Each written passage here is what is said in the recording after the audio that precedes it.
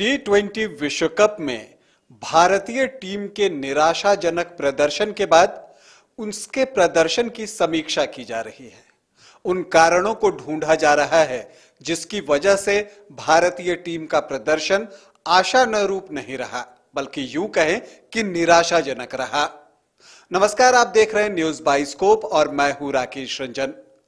T twenty विश्व cup में भारतीय टीम के प्रदर्शन से सारे देशवासी दुखी हैं। और हो भी क्यों नहीं? जिस टीम से इतना विश्वास हो उस टीम पर कि वो विश्व कप जीत कर लाएगी, वो जब खराब प्रदर्शन करती है तो दुख तो होता ही है। अब उन कारणों को ढूंढा जा रहा है कि आखिर क्यों भारतीय टीम का प्रदर्शन इतना खराब रहा इस विश्व कप में? इसमें से एक कारण जो है, वो वर्कलोड मैनेजमेंट को बताया जा रहा है। अब ये वर्कलोड मैनेजमेंट जो है, वो भारतीय क्रिकेट के लिए मिसमैनेजमेंट कैसे साबित हुआ यह बताने की आपको कोशिश करूँगा। महान सुनील गावस्कर ने भी कहा है कि जब आप देश के लिए खेलते हैं तो ये वर्कलोड क्या होता है? और बिल्कुल सही कहा है उन्होंने। अगर आप खेल रहे हैं तो फिर किस बात का वर्कलोड आपको उसके अनुसार तैयार होना ही पड़ेगा और आपको अब कहना पड़ेगा कि जो वर्कलोड का लोड है ना वो भारतीय क्रिकेट सह नहीं पा रहा। उस भार को भारतीय क्रिकेट उठा नहीं पा रहा वर्कलोड के लोड को। और अब वो कराह रहा है।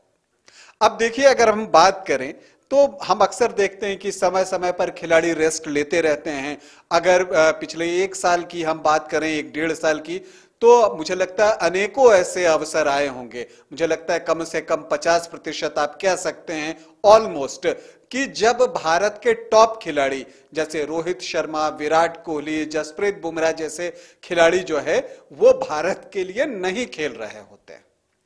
तो ये आखिर उनको रेस्ट की इतनी ज़रूरत क्यों पड़ती है? तेज गेंदबाजों का तो थोड़ा समझ में भी आता है, लेकिन बाकियों के लिए वर्कलोड क्यों एक इतनी बड़ी समस्या बन रही है? जबकि अब फिटनेस पर इतना काम होता है।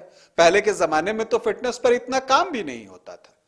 और गावस्कर ने सही कहा कि अगर सही में खेलने से वर्कलोड बढ़ता है तो फिर ये आईपीएल में क्यों नहीं बढ़ता?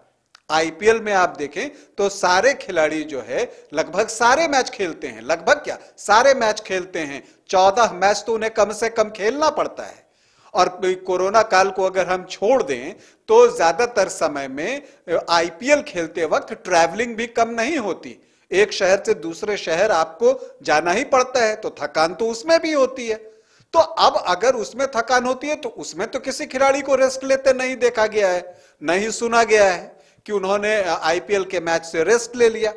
तो आखिर इन सब चीज़ों पर ध्यान देना होगा कि देश के लिए खेलते वक्त ही वर्कलोड क्यों आड़े आता है और क्यों आपको आराम की ज़रूरत होती है। वर्कलोड कई बार सच में ज़्यादा होता है और उस वक्त आराम दिया जाना चाहिए। लेकिन ये आराम, ये तरीका इतना प्रचलित होता चला गया कि अब खिलाड़ी ऐसे भी आराम मांग लेते हैं। और अब ये जो वर्कलोड मैनेजमेंट के नाम पे जो कुछ हो रहा है ना, वो बीमारी हो गई है भारतीय क्रिकेट के लिए। और जब कोई बीमारी हो जाए तो उसका इलाज ढूंढना ज़रूरी होता है। अब मैं आपको बताऊँ कि बीसीसीआई के जितने भी खिलाड़ी हैं जो खेल रहे होते हैं प्रोमिनेंट प्लेयर्स की मैं बात कर रहा हूँ, वो सभी ग्रेडिंग सिस्टम के अंतर्गत आते हैं। तो उसके अनुसार वो खेलें या न खेलें, उनको उतने पैसे मिल जाते हैं। मैच के अलावा मैच मनी के अलावा जो है, वो उतने पैसे उन्हें मिल जाते हैं। अब आप ही बताइए कि जब आप वर्कलोड मैनेजमेंट के नाम पर रेस्ट लेते हैं तो वो एक तरह की छुट्टी हुई। अब अगर आपने भी किसी कंपनी में काम किया होगा तो ये जानते होंगे क्या इतनी छुट्टी किसी कंपनी में मिलती है? नहीं मिलती ना? अगर कंपनी आपको पैसा देती है तो आपको उसके बदले में काम करना पड़ता है।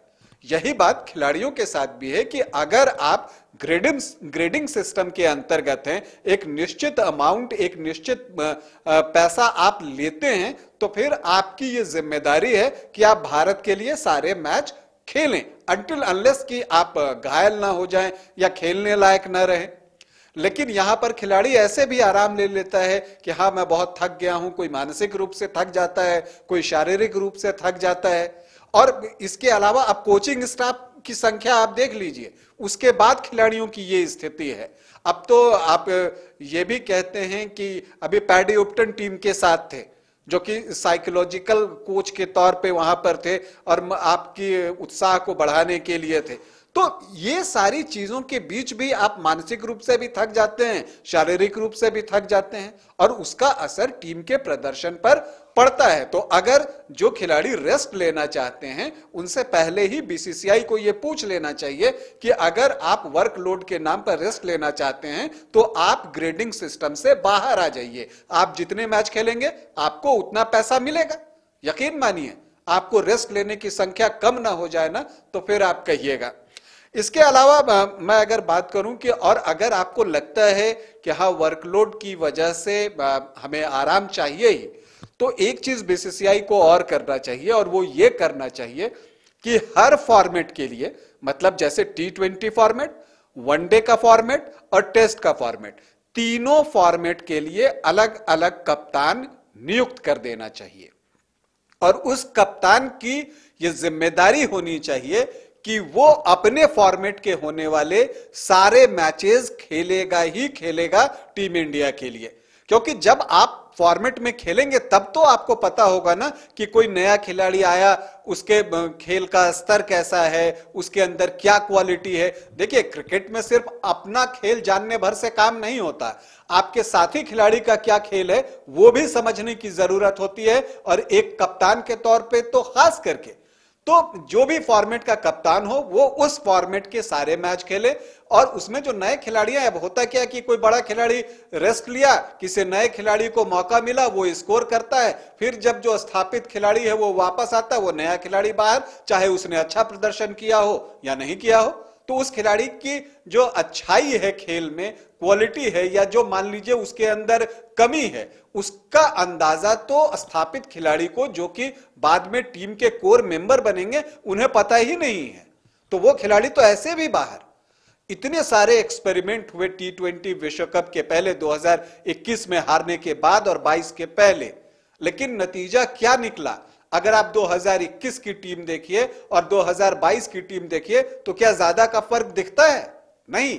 तो फिर इनके बीच में जो इतने सारे प्रयोग किए गए, उसका क्या मतलब? उसका कोई मतलब नहीं है। तो इन चीज़ों को अब जो है, देखना चाहिए और ये बीसीसीआई की ज़िम्मेदारी बनती है कि वो ये इंश्योर करे कि जो बेस्ट प्लेइंग इलेवन होगा, वही मैच खेलेगा। और इतना ही नहीं, मैं एक बात और कहना चाहूँगा कि अब तो कोच को भी रेस्ट की ज़रूरत पड़ रही है। आप देखेंगे कि राहुल द्रविड़ अब न्यूजीलैंड दौरे पर नहीं जा रहे हैं। रोहित शर्मा, विराट कोहली तो नहीं ही होंगे। साथ में आपको राहुल द्रविड़ भी न्यूजीलैंड नहीं जा रहे हैं। उन्हें भी रेस्ट की ज़रूरत आन पड़ी है।